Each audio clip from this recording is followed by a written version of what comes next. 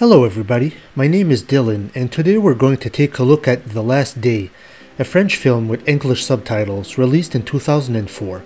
It was written and directed by Rodolphe Marconi, produced by Gemini Films and Canal Plus, and distributed by Strand Releasing. This film stars Gaspard Ulliel. If you don't know who he is, he is an actor from France who has a decent filmography in Europe.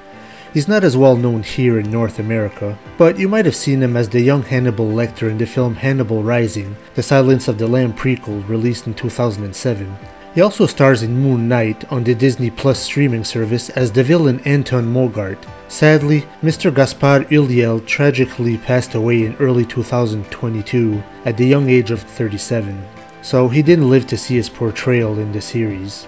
But lo and behold, he also has a couple of gay themed films to his credit.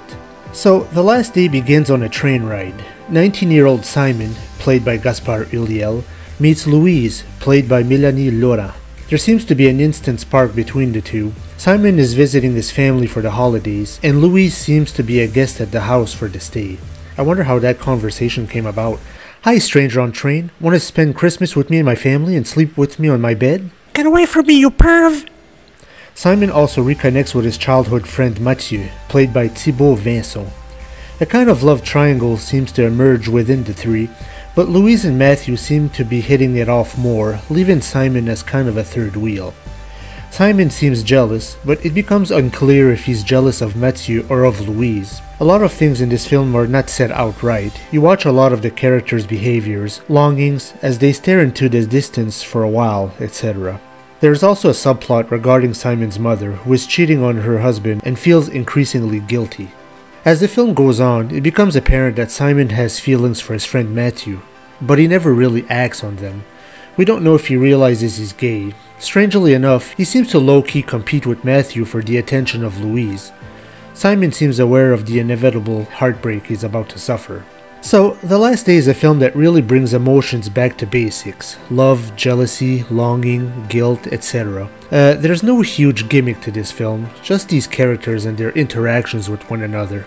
We don't know a ton about them, just some basic facts, and we watch a lot of the interaction between them, reactions, etc. It's almost like a small behavioral study. Again, subtlety is the name of the game here, which is not a formula that everybody will appreciate. This wasn't Ulliel's only gay-themed film, as he did star in Gus Van Sant's short film Le Marais, released in 2006, and in Xavier Dolan's It's Only the End of the World, released in 2016.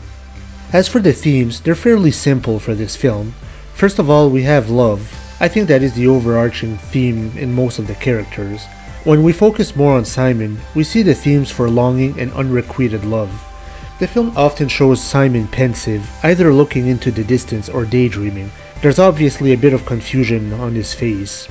We also have the theme of jealousy. Simon feels left out when he sees the blossoming romance between his friends Mathieu and Louise.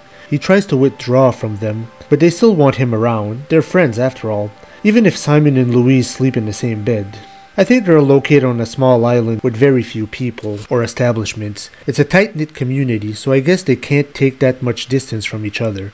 So, as I mentioned earlier, the themes for this film are brought back to basic emotions. There's also a theme of tragedy, which I won't spoil, but it's in the last minute of the film, and the first minute. As for ratings, IMDb has rated The Last Day a 6.1 out of 10. It is not rated on Rotten Tomatoes. I give this film a 5.5 out of 10. It doesn't quite have that passing mark with me, uh, although I don't consider this to be a bad film, but I just don't know if there's enough here to hold the interest of today's viewers. Uh, the acting is very good. I don't remember ever seeing a French film where the acting was bad. And unlike Friends Forever, it has more of a flowing narrative, it makes more sense. But still, I don't know if the subtlety of the film and the character nuances will appeal to many. Based on this video, you can probably decide if you would like this film or not. If you like a slow moving drama, that's up to you.